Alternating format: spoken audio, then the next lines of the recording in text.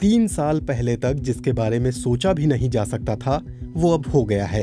अरब देशों की नौसेनाओं ने इसराइल के युद्धपोतों के साथ पहला संयुक्त सैन्य अभ्यास किया।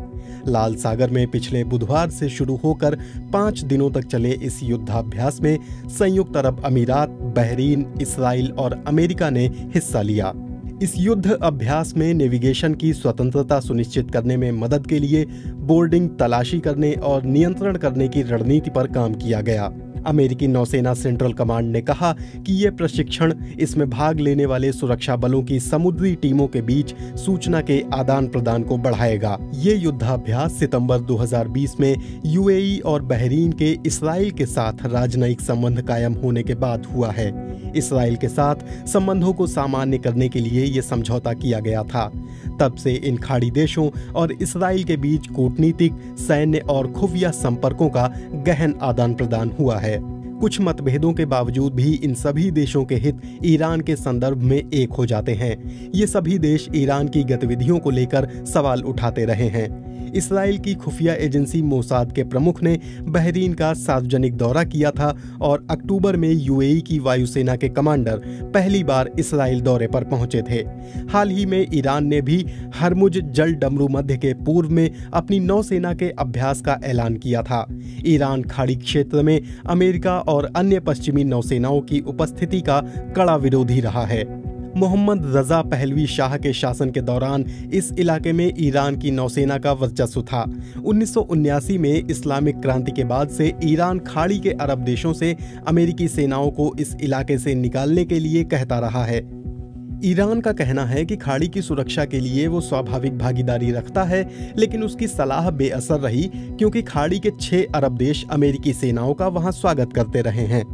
सऊदी अरब, बहरीन और संयुक्त अरब अमीरात, ईरान और उसके इस्लामिक रिवोल्यूशनरी गार्ड कोर को लेकर हमेशा संदेह में रहे हैं।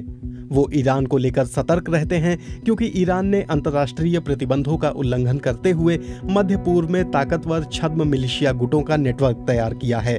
सऊदी अरब छह बरसों तक यमन में हवाई हमले करने के बावजूद भी ईरान के समर्थन वाले हूती विद्रोहियों को हरा नहीं पाया। लेबनान में हिजबुल्लाह पहले से ज़्यादा मज़बूत हो गया है। ईरान ने सीरिया में राष्ट्रपति बशर अल असद के शासन को समर्थन देने के लिए इराक और सीरिया में मिलिशिया गुटों को पैसा और हथियार देकर और अपनी सेना भेजकर दोनों देशों में अपनी स्थिति को मज़बूत कर लिया है।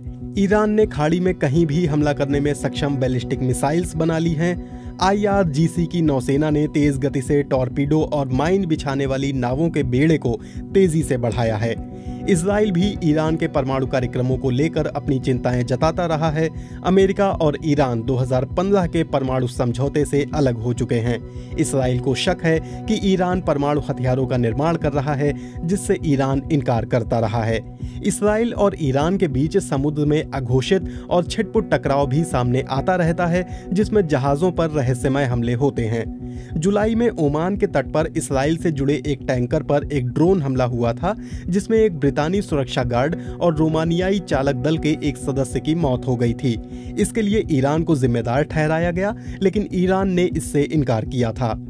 मध्य पूर्व में ईरान की गतिविधियों की आलोचना में सऊदी अरब सबसे ज़्यादा मुखर रहा है। खासतौर पर 2015 में सऊदी के crown prince Mohammed bin Salman के रक्षा मंत्री बनने पर। लेकिन 14 सितंबर 2019 को कुछ ऐसा हुआ कि सऊदी अरब के रणनीतिकारों की रणनीति पूरी तरह से बदल गई। सऊदी अरब के दो बड़े तेल संयंत्रों, बकीक और खुरैस पर ड्रोन और मिसाइलों से हमला किया गया। इससे सऊदी अरब के तेल उत्पादन पर बड़ा असर पड़ा और पूरी दुनिया में तेल की कीमतों में उछाल आ गया। यमन के हूती विद्रोहियों ने इस हमले की ज़िम्मेदारी ली, लेकिन तेल संयंत्रों पर गिराई गई मिसाइल उत्तरी इलाके से छोड़ी गई थी और जाँच में सामने आया कि उन्हें दक्षिणी इराक में ईरान समर्थित मिलिशिया गुट ने छोड़ा था। इस हमले का संदेश साफ़ था कि ईरान अगर चाहे तो सऊदी अरब और उसके सहयोगियों को बुरी तरह नुकसान पहुँचा सकता है, उनकी अर्थव्यवस्था को बड़ा झटका दे सकता है। सऊदी अरब ने इस हमले पर कोई खास प्रतिक्रिया नहीं दी। वहीं पिछले कुछ महीनों से ईरान और सऊदी अधिकारियों के बीच तनाव कम करने को लेकर बातचीत भी चल रही है। लेकिन इसका ये मतलब नहीं है कि ईरान और सऊदी अरब दोस्त बन गए हैं। दरअसल दोनों देशों को एहसास है कि किसी भी टकराव की स्थिति में दोनों को भयंकर नुकसान का सामना करना पड़ सकता है। ऐसे में दोनों देश टकराव के बावजूद शांति बनाए रखने के रास्ते तलाश रहे हैं।